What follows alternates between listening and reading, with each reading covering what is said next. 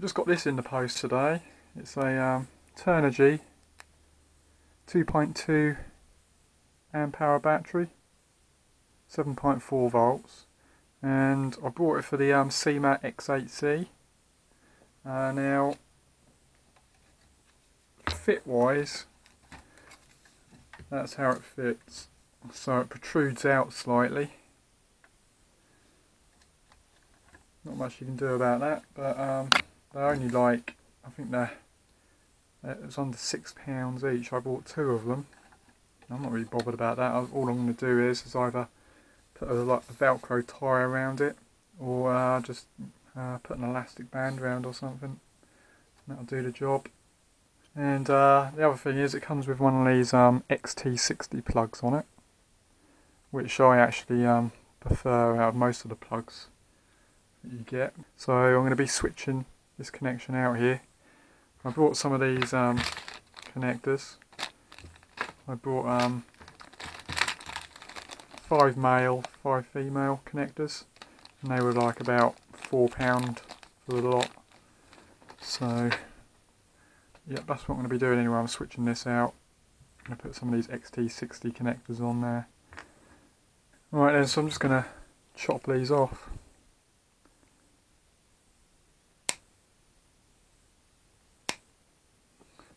Using that again anyway. Yeah, I'll just uh, strip the wires back.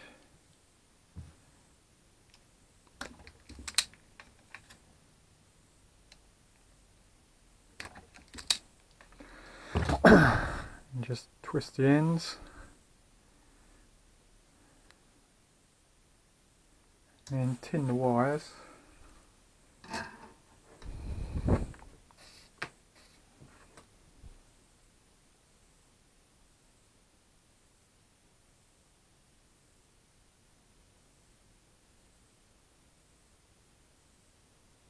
So really when you um, solder these up you really want both plugs because then you can plug them together like that and then one on this side will hold this one so it doesn't go out of alignment when you solder it because sometimes that will get soft and they'll move about in there and then you'll have trouble trying to um, realign them after they've cooled down. So make sure you get the right one. See uh, female one that goes on the quadcopter.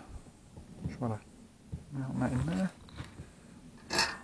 Uh, need some heat shrink. You can get that from Hobby King as well if you um, have to.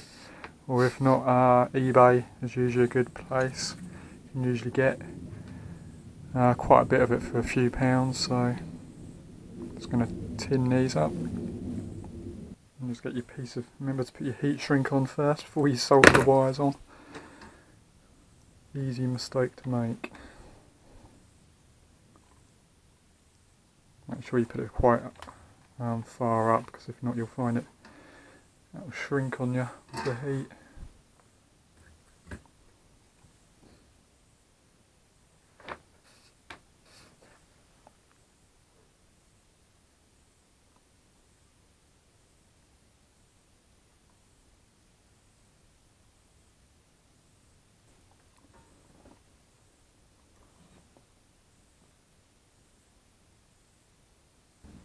There we go.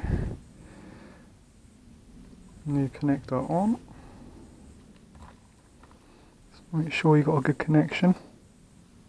Yep, that's good. Just let it cool down for a minute or so before you put the heat shrink on, because if not you'll get, sometimes you'll get halfway down here and it'll start to shrink before you get over the um, metal contacts. So I'll just leave it to cool down for a minute. Right, so now just put the heat shrink on. Shrink it, lighter. Can do it with the um, back of the soldering iron, but it's quicker to do it with a lighter. And there we go. One connector. There's a 2200 um, milliamp hour. And there's the uh, standard battery. As you can see, there's quite a bit of difference in size. Anyway, let's try it and there we go, works.